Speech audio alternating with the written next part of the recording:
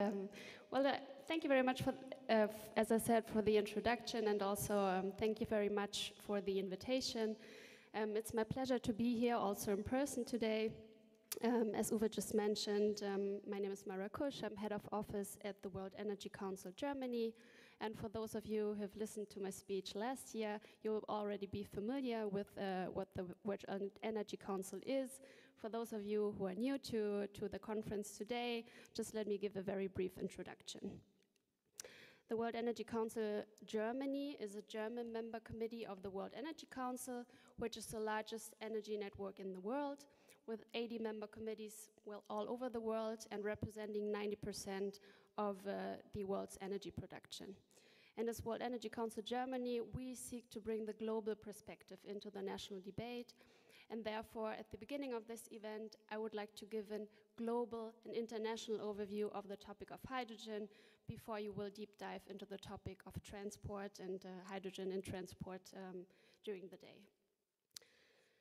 Okay, next slide. Well, um, at the beginning of my presentation, I always like to start with two slides. One of those is, uh, yeah, is this one, because as Uwe just mentioned, um, back in 2020, together with Ludwig Bölkow Systemtechnik, uh, we did a study on international hydrogen strategies, where we analyzed which countries had already published their own hydrogen strategy, or which countries had planned to do so in the near future. And this is what we found out in 2020. As you can see, only a number of countries had published their st strategies, um, and most of them had done so after April 2020. And then after that, we've really seen what I like to call a boom of hydrogen strategies. And this is what you can see on the next slide, actually. Um, so basically, every month, one or two governments published their own strategy on the production and use of hydrogen. And uh, at this point, as of October 2020, we see over uh, almost 30 strategies by governments on hydrogen use all over the world. Although there is a certain concentration on hydrogen strategies in Europe. Um, yes, well, if go going to the next slide, um, we see that the hydrogen strategies um, are as I said, rather concentrated in Europe. However, the, the topic of hydrogen is sort of a, a global topic. You can see um, in different colors, um, yeah, the hydrogen activity spread all over the world.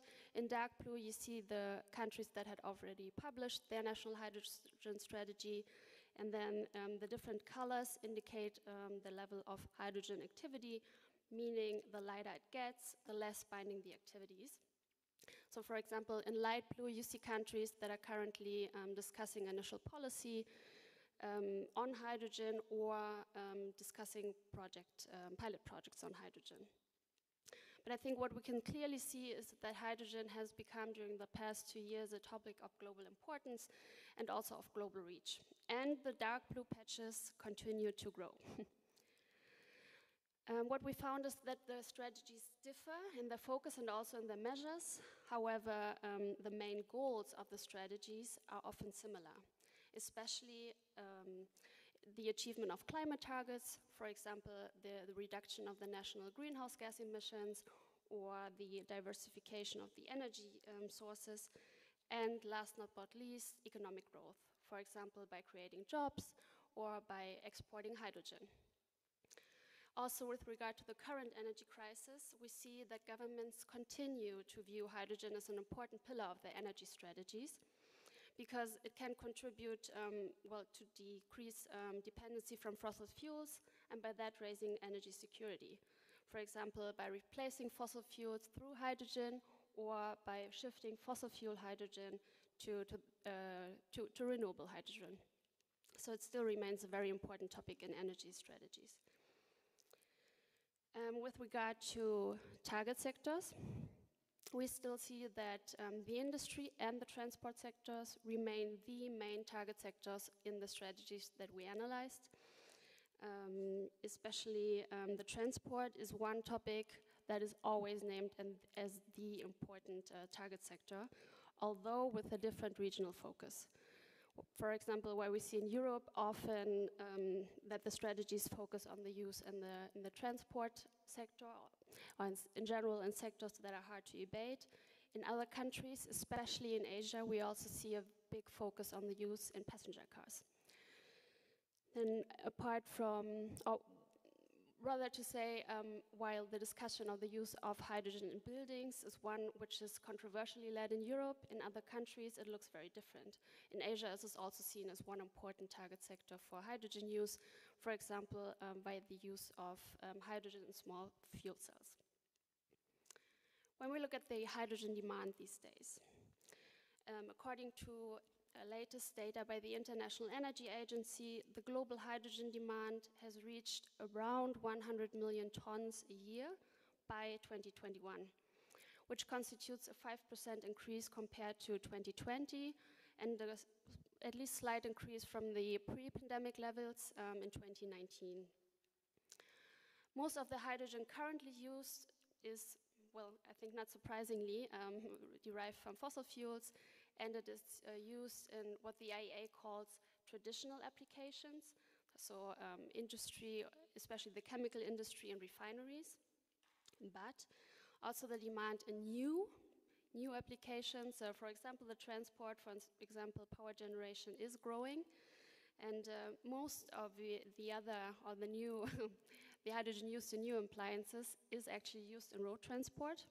And though then the demand is still rather low, um, it's definitely going up um, by more than 60% to be precise um, in comparison to 2020. And to, to, give you a general number on the hydrogen demand in the transport sector, in 2021 it reached um, around 30,000 kilotons. Um, road vehicles are by far the most, uh, the major source of hydrogen demand and uh, most of it is consumed in trucks and buses, um, especially because of their high mileage and their weight. Then to just give you a very brief overview of the development of fuel electric cars around the world. According to the IEA, last year we saw a stock of uh, fuel electric vehicles of um, around 50,000 worldwide which was a 55% increase um, compared to 2020. And if we look at the middle of this year, uh, the numbers went up to 60,000 again, which is another 15% increase. So we see definitely a growth in this sector, especially in Korea. Um, yeah, in, in Korea, um, or Korea almost doubled the stock of fuel electric vehicles um, last year. And with regard to heavy transport, just to give you yeah, some numbers, China continues to dominate the sector, with, uh, with accounting for over 85% of the world's fuel cell buses and uh, also almost 100% of fuel cell trucks. Th those are really just to give you some numbers um, that we definitely see an upward trend. And although it's still, um, yeah, it's still not big, you can see that uh, going forward, um, the numbers will grow. Now, going to Germany. I think many of you are aware that the German government published its natural hydrogen strategy in um, June 2020, so I will not spend a lot of time going into the detail. Um, the main goals were decarbonization, diversification of energy sources, and uh, last but not least, the development of innovative technologies for export. And at least the medium to long term focus is on green hydrogen. At the moment, we see a hydrogen demand of around 55 terawatt hours a year in Germany. However, looking to 2030, uh, the German government expects a demand of between 90 to 110 terawatt hours. And in order to cover at least parts of this demand, especially with regard to green hydrogen, um, generation plants with a total electrolyzer capacity of up to 10 gigawatts hours are planned um, to be installed by 2030, including the necessary uh, infrastructure for onshore and offshore energy. This corresponds to around 28 terawatt hours um, of at least green hydrogen, which means Germany won't be able to cover the demand by itself. That is nothing new. So the German hydrogen strategy um, lays a big focus on the building of international hydrogen partnerships and hydrogen imports. And as many of you also will know, Germany has created a specific instrument for hydrogen imports and for the market ramp up of green hydrogen, which is called H2 Global, which has already started working a couple of months ago. What is important is uh, that Germany is planning to, um, to revise its hydrogen strategy this year. So we can expect a revision by the end of this quarter. And uh, it's also planning, the government is planning to release a hydrogen import strategy, which signals that yeah, the building of hydrogen partnerships is a very important element of, of the national hydrogen strategy. And uh, Germany is actually not the only one doing it. so if you have a look at the next slide, during the past two years, we've seen a big number of international hydrogen partnerships being formed on a global level, usually building on bilateral or sometimes trilateral agreements. And this is what you can see on the left side of the slide. So those are bilateral partnerships between governments.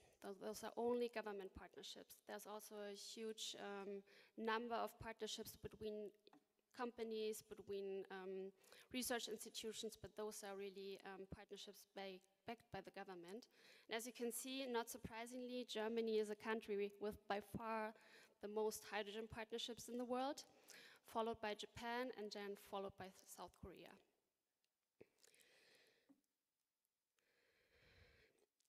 Our colleagues uh, from the World Energy Council in May um, published, uh, yeah, I thought a rather nice map on um, expected import and export dynamics by 2040. And this is what you can see here. And there they, um, they divided the countries worldwide into five categories. I think it's a little hard to see, so I'll, I'll name it again. The, in dark blue, you can see the strongly export-oriented oriented countries in in a little bit lighter blue, the slightly export-oriented. Then in a very light orange, the neutral or self-sufficient countries. In a darker orange, the slightly import-oriented. And then in a darker orange, the strongly export-oriented. And then you can also see the demand centers, the export centers, um, which are expected at 2040, and also the trade routes. We expect to see um, the, the development of even more international hydrogen partnerships in the future because they give the opportunity to, to jointly develop technologies, to develop the hydrogen um, infrastructure and also the value chains, and in the end, hopefully, to establish trade relations. However, to establish stable trade relations, um, we see that the implementation of a clear regulatory framework is needed. And this is also a discussion being led in the European Union for quite some time. And the, this establishment includes um, safety standards, technical standards, but then of course standards for certification, because certification is a central instrument um, to prove that the hydrogen produced was green or at least um, containing low emissions. So in our opinion, um, the, yeah, the certification is one of the preconditions for international trade and in the end for the development of an international hydrogen market. And therefore, at the end of my presentation, let me give a very brief excursus into one of our studies we published at the beginning of this year, since certification is one of, I think, one of the regulatory topics also within the European Union and in the end for, for using hydrogen. Together with dena, the German Energy Agency, we did a study on the harmonization potential of international hydrogen standards and certification, where we analyzed 11 standards worldwide. Um, for example, CertifHy, of course, the Renewable Energy Directive, um, then also the China Hydrogen Alliance Standard and the Australian um, Zero Carbon Certification Scheme. And as time is scarce, I don't want to go into too much detail, so just let me give um, some, some observations or some conclusions we derived from this report, um, which, yeah, which are that um, the most harmonized sustainability criteria among all standards we analyzed were the use of renewable electricity as an input, then the eligibility of all carbon sources, as long as they are not deliberately produced for for the hydrogen production, and mass balancing, which is a tracking model where the um, physical delivery of the energy carrier goes hand in hand uh, with a certificate.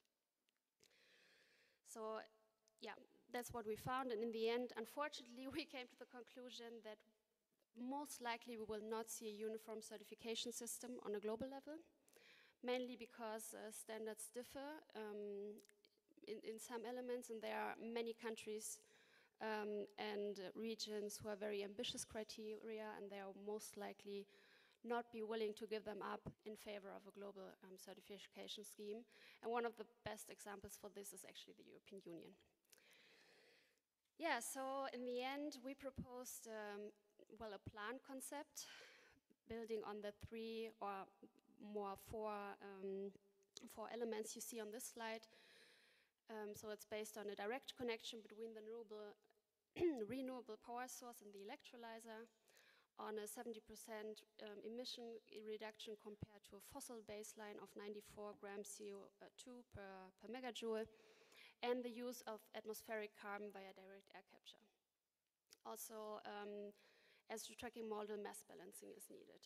So that means if, if producers of hydrogen, um, doesn't matter, if the producers of hydrogen produce hydrogen according to these um, these elements, they will reach um, market access to, to the standards and markets we analyzed. Of course, this is only a plan concept, um, but yeah, this is what, what we found um, is at least feasible, although rather expensive.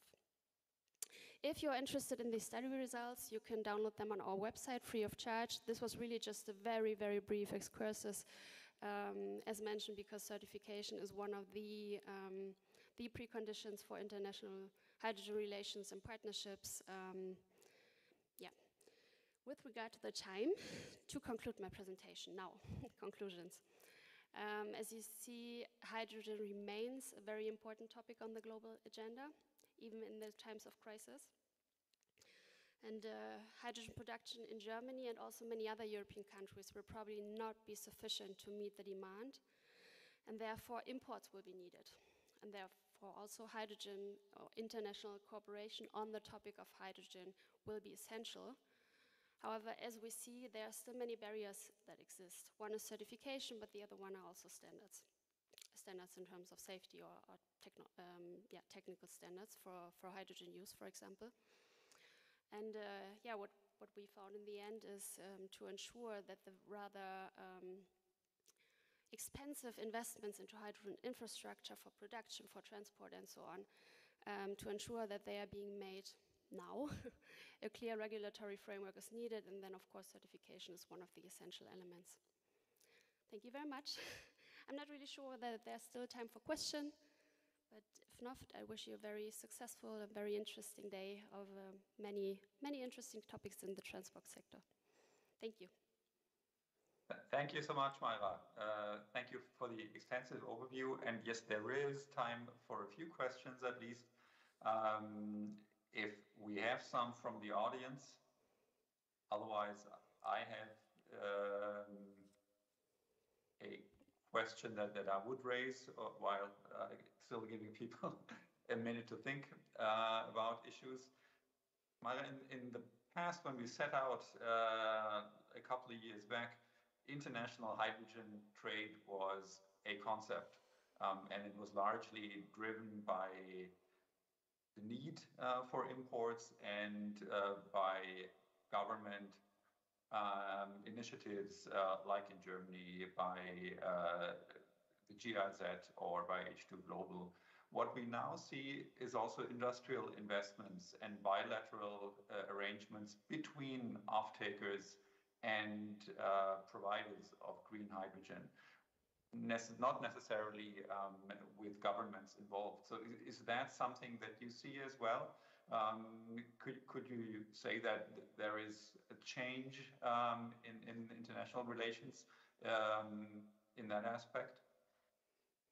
Maybe not a change. I think uh, both both developments are more or less in parallel. Um, as I said during my keynote, also um, we see the development of many government strategies, including also the element of international hydrogen partnerships. So that this is often mentioned in the strategy itself. But then we also see the development that countries, uh, not countries, but companies, um, well, they want to keep going. They, they want to get started. So they are often tired to wait for regulation. Um, so they try to move forward and, um, yeah, look for partners, um, business partners in other countries and get started. So I think it's a, it's a mixture of both. Of course, um, as also mentioned, um, the cost for, for the investment into hydrogen production, into, into the necessary infrastructure are very high. Therefore, um, it makes sense, of course, to, to look for partners, but it also makes sense to see whether there's government funding. And I think, especially in the beginning, government funding is one of the essential elements to be able to take the risk of investing into the infrastructure. Um, therefore, of course, it's, it's not a surprise, I think, that Germany is a country with the most hydrogen partnerships, as is a, it is really backed by, by money, um, which is yeah, given out by the um, H2 Global program, but not only the H2 Global one. There's also other funding um, for, for research initiatives, for example. So I think, yeah, it's both. Thanks a lot, Maira. Um, any other questions from the audience at this point? If that's not the case, we're exactly on time. Thank you so much again for coming out to Berlin. Um, and uh, it's too bad that I cannot be there and only uh, see and, and, meet you virtually uh, this time, but we will catch up uh, at some other point. Thank you, Maira, and uh, hopefully, uh, I don't see the audience, but hopefully there are enough to give you a big round of applause for your presentation. Thank you.